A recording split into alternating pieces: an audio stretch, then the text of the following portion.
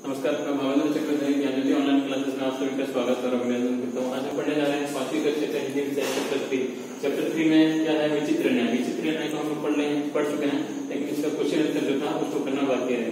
ठीक है? इसको क्वेश्चन आंसर जो आप लोग का कॉपी है टू लाइन वाला टू लाइन वाला कॉपी में ना, आप लोग अच्छे से ठीक से लिखेंगे। ठीक है? इसका प्रश्न का उत्तर, आप प्रश्न उत्तर अभ्यास करिए यहाँ पर अभ्यास करें आप लोग को बताना अभ्यास करें पहला नंबर है मौखिक यहाँ पर शुद्ध उच्चारण का दिया है मैं आप लोग को लिखा के बता रहा हूँ, पढ़ रहा हूँ। ठीक है? यहाँ पर मौखिक शुद्ध उच्चारण कीजिए। इसको ठीक ढंग से अच्छे से देख करके पढ़ना है। यहाँ पर लिखा है, घोड़ा गाड़ी, सुमेरपुर। मेरे साथ साथ आप लोग पढ़िएगा। ग्राहक, सत्यनाश, ईमानदारी, प्रतिज्ञा, अमूल्य।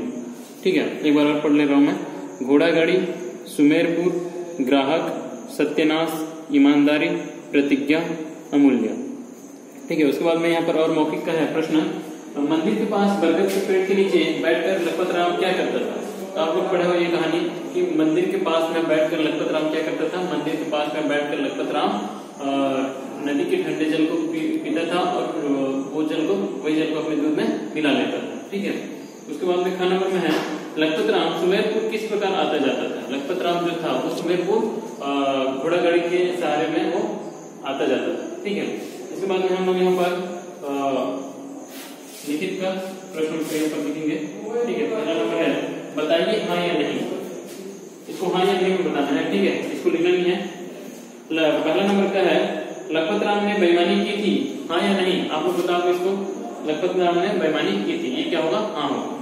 ठीक है, उसके बाद नंबर में है, बंदरों ने सही न्याय किया। बंदर जो थे, वो लखपत राम के सामने सही न्याय किए। पहला नंबर लिखेंगे हम लोग? पहला नंबर पे क्या होगा हाँ। दूसरा नंबर का नंबर होगा। बंदरों ने सही न्याय किया। ये भी हाँ होगा, क्योंकि बंदर जो थे वो सही न्याय किए थे।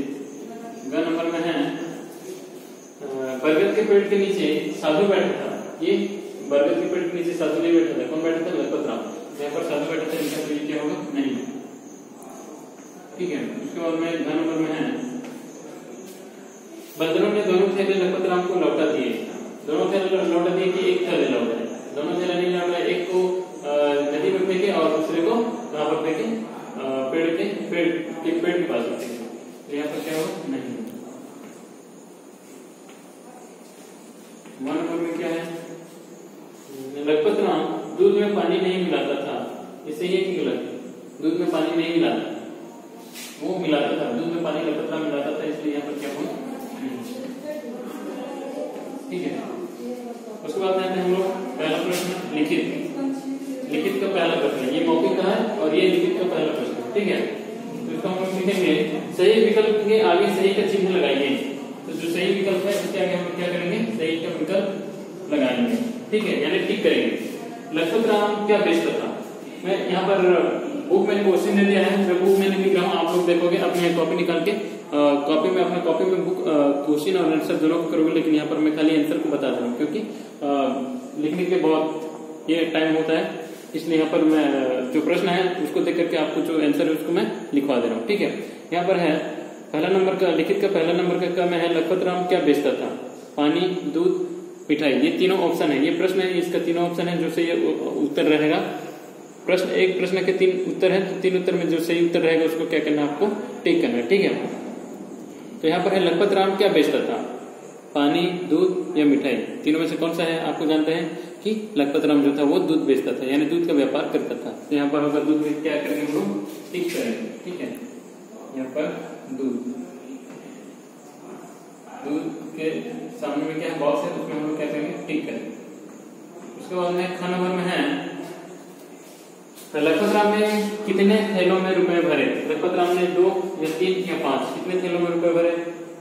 दो भी नहीं तीन नहीं होगा और पाँच नहीं होगा। दो दो थैला दो थैला पकड़ा था और दोनों थैले को कौन ले गए थे? बंदर तो यहाँ पर कितने होगा? दो। दो। में यहाँ पर टिक करना है।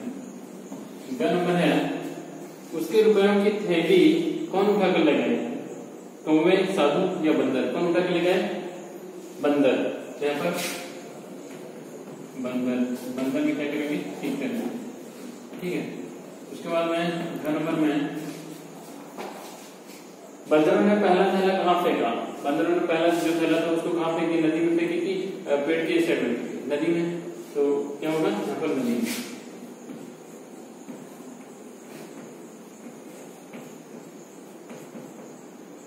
ठीक है। हम लोग टू नंबर में क्या है कि उचित उत्तर लिखे। दो नंबर में है, यहाँ पर उचित उत्तर लिखने के लिए यहाँ पर पहला प्रश्न क्या है, दो नंबर का? लखपत राम दूध बेचने में क्या बेमानी करता था? तो जो लखपत राम था, वो दूध बेचने में क्या बेमानी करता था? लखपत राम दूध बेचने में, दूध में पानी मिला करके उसको बेचता था, इसलिए वो दूध लखपत राम दूध में पानी मिलाकर बेमानी करता था। पानी मिला करके वो क्या करता था? बेमानी करता था। ठीक है। उसके बाद में दो नंबर का प्रश्न है तो हमें क्या है साधु ने लखपत को क्या समझाया? जो साधु था वो लखपत राम को क्या समझाया? तो यहाँ पर उत्तर में है, साधु ने लखपत राम लखपत राम को समझाया कि ईमानदारी से कमाया पैसा तुम्हें मिल गया, बाकी पैसा बेईमानी का होगा। इसलिए वहाँ नदी में रह गया। तो साधु ने, जो साधु था वो लखपत राम को क्या समझाया कि आप ईमानदारी से जो काम किया उसका पैसा आपको मिला, और जो बेईमानी से किए, वो क्या हुआ? पैसा कहाँ पर चला गया? नदी में चला गया साधु इस तरह से जो लखपत राम थे, उसको समझाया। ठीक है? उसके बाद में नंबर का प्रश्न क्या है कि लखपत राम ने क्या प्रतिज्ञा की? लखपत राम जो थे क्या प्रतिज्ञा की? लखपत राम ने प्रतिज्ञा की कि वह अब कभी बेईमानी नहीं करेगा। तो एक बार बेईमानी करके उसको क्या सजा मिला, वो कुछ जानता है इसलिए वो क्या प्रतिज्ञा किया कि अब कभी भी वो बेईमानी नहीं करेगा। क्योंकि वो भगवान के पास में प्रतिज्ञा की। घन नंबर क्या है? लखपत राम ग्राहकों से पैसा की वसूली कब करता था? आप लोग को मालूम है कि लखपत राम जो था, वो दूध के बाद में हर महीने क्लास में क्या करता था? पैसा दूध का पैसा वसूल करता था। तो यहाँ पर उत्तर में क्या लिखना है? लखपत राम ग्राहकों से पैसा की वसूली महीने की आखिरी तारीख पर करता था। जो महीने की आखिरी तारीख है, वहीं पर लखपत राम ने जितने भी दूध का व्यापार करता है उनसे पैसे की वसूली वो करता था। ठीक है?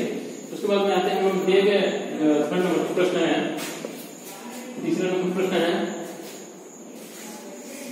इतना जो टू नंबर का है, इसको आप लोग कंप्लीट कर लेंगे, अच्छे से लिख लेंगे अपने कॉपी में टू लेवल वाला पेपर हिंदी का, उसके बाद हम लोग लिखते हैं यहाँ थ्री नंबर थ्री नंबर में यहाँ पर क्या है कि दिए गए शब्दों का अपने वाक्य में प्रयोग कीजिए। यहाँ पर कुछ शब्द दिए हैं, इसको अपने वाक्य में क्या करना है, प्रयोग करना है, यानी वाक्य में प्रयोग करना है। यहाँ पर है मंदिर, पहला है मंदिर। मंदिर। तो मंदिर लगा के वाक्य बनाना है, मंदिर के पास एक बरगद का पेड़ था। मंदिर के पास एक बरगद का पेड़ था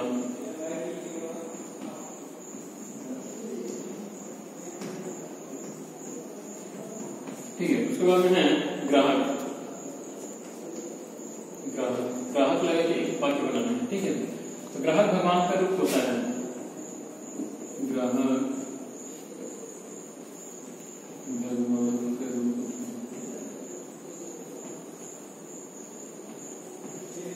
होता है ठीक है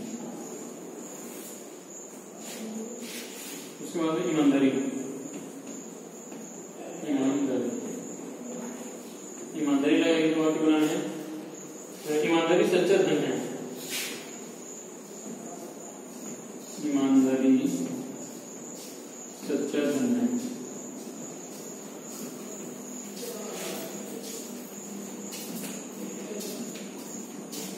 उसके बाद में है प्रतिज्ञा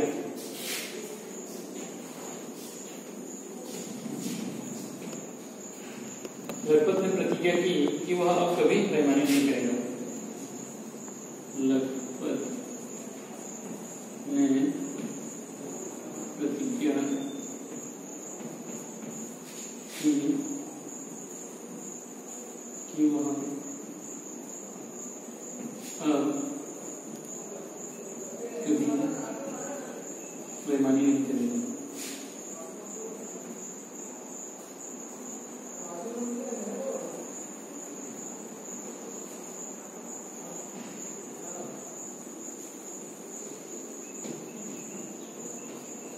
ठीक है तो इस तरह से हम लोग ये वाक्य का अ, वाक्य बनाना है एक- ये शब्द क्या है इसको वो एक एक करके वाक्य बनाए हैं जैसे कि पहला मैं आपको बताना बता रहा हूँ मंदिर मंदिर के पास एक बरगद का पेड़ था मंदिर लगा के इस तरह से एक वाक्य बनाना है उसके बाद में ग्राहक ग्राहक भगवान का रूप होता है उसके बाद ईमानदारी ईमानदारी सच्चा धन है बाद में प्रतिज्ञा। लगभग में प्रतिज्ञा की कि वह अब कभी बेईमानी नहीं करेगा। ठीक है? तो इस तरह से आप लोग ये नंबर को भी कंप्लीट कर लेंगे ठीक है? प्रश्न क्या दिया यहाँ पर मूल्य पर प्रश्न में यहाँ पर दे दी। आपकी नज़र में क्या बंदरों का कार्य उचित था या नहीं? और क्यों? यानी बंदर जो कार्य किए थे वो उचित था या नहीं? और अगर उचित था तो किस लिए अगर नहीं, किस लिए नहीं? तो यहाँ पर लिखा है कि बंदरों द्वारा किया गया कार्य सर्वथा उचित था, क्योंकि इसी से लगभग राम को आभास हुआ कि उसे मिलावट जैसे अनुचित कार्य नहीं करना चाहिए। तो जो बंदर बंदर जो कार्य किया वो उचित था क्योंकि उसी से लगभग राम को आभास हुआ कि वो जो कार्य किया था वो गलत था। ठीक है? उसके बाद में आते हम लोग यहाँ पर आपके विचार, यदि बंदर पैसों का एक थैला नदी में ना फेंकते तो क्या होता उसको आप लोग करके लिखेंगे ठीक है? फिर रचनात्मक कार्य, बुरे कार्य का परिणाम सदा बुरा होता है। अपने मित्र को पत्र लिखकर समझाइए कि वह सदैव सन्मार्ग पर चले तथा अपना कार्य ईमानदारी से करे। तो इसको आप लोग क्या करोगे? एक पत्र लिखोगे, ठीक है? उसके बाद में आते हैं हम लोग यहाँ पर भाषा ज्ञान भाषा ज्ञान में क्या है कि दिए गए शब्दों के विलोम शब्द वर्ग पहली में ढूंढे और उन पर बोला लगेंगे। तो यहाँ पर हम लोग को बताने रहा हूँ कि भाषा ज्ञान में यहाँ पर तेज की अपने मित्र को पत्र लिखकर समझाइए। समझाइए कि वह सदैव सन्मार्ग पर चले तथा अपना कार्य ईमानदारी से करे। तो किस तरह से पत्र लिखते हैं। आप लोग को बता रहा हूँ। जैसे कि यहाँ पर यहाँ पर लिखना प्रिय मित्र पहले लिखना है यहाँ पर। जैसे कि आप लोग एक लेटर लिख रहे हैं यहाँ पर। यहाँ से यहाँ लेटर लिख रहे हैं। तो ये एक पेपर है। पेपर में यहाँ पर पहले सबसे पहले लिखना है यहाँ पर प्रिय मित्र प्रिय मित्र यहाँ पर सबसे पहले ऐसे लिखना है। उसके बाद में जो होगा वहाँ से जो लिखने का रहेगा यहाँ से ऐसे करके लिखना है, ठीक है? तो किस तरह से लिखना है इसको? मैं आपको बता दे रहा हूँ। सुना है, आजकल तुम गलत लोगों की संगत में रहकर सिगरेट और पत्ते खिलने यहाँ पर हम लोग जैसे कि एक पत्र लिख हैं तो किस तरह से लिखेंगे? यहाँ पर प्रिय मित्र लिख करके यहाँ पर अपना जो मित्र है, अपने जो मित्र है, उसका नाम यहाँ पर लिखना है। उसके बाद में जो होगा जो लिखने का रहेगा, उसको यहाँ पर हम लोग लिखेंगे, ठीक है? तो किस तरह से लिखेंगे, देखो। प्रिय मित्र, अपने मित्र के नाम आपको लिखना है। उसके बाद में लिखना है कि, सुना है, आजकल तुम गलत लोगों की संगत में रहकर सिगरेट और पत्ते खेलने लगे हो। मेरे प्रिय मित्र, मैं तुम्हें बता दूँ कि इस संगत से अपने आप को जितनी जितनी जल्दी अलग कर लो, उतना ही अच्छा है। ठीक है? उसके बाद में लिखना है कि, सिगरेट की लत तुम्हें कैंसर और अंततः मौत मौत के मुँह में ले जाए ले जाए, ले जाएगी और पत्ते खेलने की लत तुम्हें जेल ले जा सकती है। इसलिए तुम जैसे पहले थे, वैसे ही सुशील और आज्ञाकारी बनो और अच्छी अच्छी संगत में रहकर सन्मार्ग पर चलो। अगर तुम्हें मेरी आवश्यकता हो तो बेझिझक मुझे बताओ। मैं तुम्हारी हर संभव हर संभव सहायता करने को तैयार हूँ। तुम्हारा शुभचिंतक मित्र सुमेर सिंह। तो यहाँ पर जितना है, मैं बताया उसको। यहाँ पर आप लिख लोगे और लास्ट में क्या लिखोगे कि आपका तुम्हारा शुभचिंतक मित्र, यहाँ पर तुम्हारा शुभचिंतक या फिर तुम्हारा प्रिय मित्र जो भी लिखोगे, प्रिय मित्र, यहाँ पर अपना नाम लिखोगे ठीक है, यहाँ पर आपका नाम यहाँ पर लिखोगे, इस तरह से एक पत्र को लिखना है। ठीक है, उसके बाद में आते हैं हम लोग यहाँ पर भाषा ज्ञान। तो भाषा ज्ञान में क्या है? यहाँ पर भाषा ज्ञान है। तो दिए गए शब्दों के विलोम शब्द वर्ग पहली में ढूंढे और उन पर बोले लगे। तो ये जो शब्द है ना इनको क्या करना है कि इस वर्ग पहली में इसका विलोम शब्द दिए गए हैं तो उसको ढूंढ करके क्या करना है, उनको बोला करना है। जैसे कि यहाँ पर एक उदाहरण दिया है, प्रसन्न का प्रसन्न यहाँ पर लिखा है? तो इसका यहाँ पर प्रसन्न का क्या होगा? विलोम शब्द दुखी होगा। तो यहाँ पर दुखी यहाँ पर है इसको ऐसे करके बोला लगेगा ठीक है? उसके बाद में है सबसे पहले देखते हैं हम बेचना। ये उदाहरण मिल दिया बुक में। इसके बाद में मैं बता रहा हूँ बेचना। बेचना का क्या होगा? खरीदना। तो खरीदना कहाँ पर है? ढूंढना है यहाँ पर। यहाँ पर खरीदना लिखा है यहाँ पर ऐसे करके बोला करना है। ठीक है, इसका हो गया, उसके बाद में ठंडा। ठंडा का क्या होगा?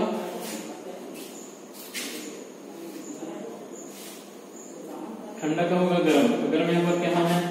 यहाँ पर ऐसे करके गर्म मीठा यहाँ पर। यहाँ पर ऐसे बोला ठीक है? इसका मतलब होगा झूठ झूठ का अगला शब्द क्या होगा? सचमुच। तो सचमुच कहाँ पर है? यहाँ पर लिखेंगे लिखेंगे सचमुच। यहाँ पर सचमुच यहाँ पर बोला करेंगे इसका भी हो गया, उसके बाद में पास पास से क्या होगा? दूर होगा। तो दूर कहाँ पर है? यहाँ पर। ठीक है? इधर से ऐसे पढ़ने से दूर हो रहा है ठीक है? उसके बाद में आते हैं मोटा। मोटा का क्या होगा? पतला। तो पतला यहाँ पर ऐसे। क्या करना है? गोला मोटा का पतला हो गया। उसके बाद में ईमानदारी। ईमानदारी का क्या होगा? बेईमानी ये बेईमानी यहाँ पर है यहाँ पर ऐसे गोला करना है उसके बाद में है सवेरा।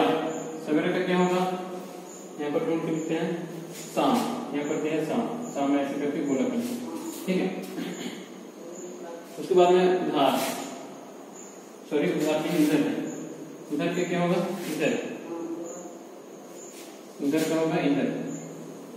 यहाँ पर से बोल के उसके बाद में है अन्याय। अन्याय का क्या होगा? न्याय। न्याय कहाँ पर है यहाँ पर। तो इस तरह से हम लोग वर्ग पहली को लिख करके फिर क्या करेंगे गोला करेंगे। ठीक है, उसके बाद में आते हैं हम लोग इधर। भाषा ज्ञान का ये पहला नंबर था। भाषा ज्ञान का पहला नंबर ये। ठीक है, उसके बाद में भाषा ज्ञान का दूसरा नंबर क्या दिया है? दिए गए शब्दों में से सगे शब्द छाट कर लिखिए। तो जो सगे शब्द है उसको क्या करना है? छाट करके हमें लिखना है। तो सगे शब्द छाट करके मैं आपको लिख के बता रहा हूँ। उसके साथ साथ लिखोगे मेरे साथ लिखोगे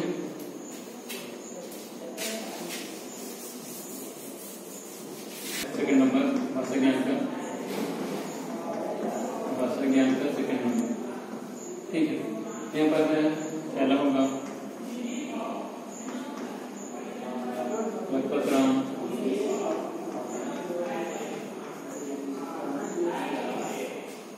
उसके बाद में नदी उसके बाद में होगा फूल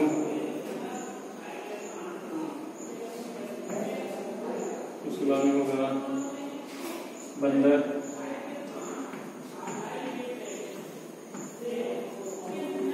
ऐसा पर हो गया।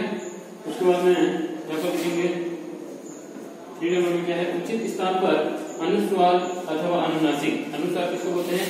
इसको हम लोग बोलते हैं अनुस्वार। जो बिंदु है, क्या बोलते हैं हम लोग? अनुस्वार। इसको अनुस्वार। अनुस्वार और जो ये चंद्र बिंदु है, इसको हम क्या बोलते हैं? अनुनासिक। ठीक है अनुनासिक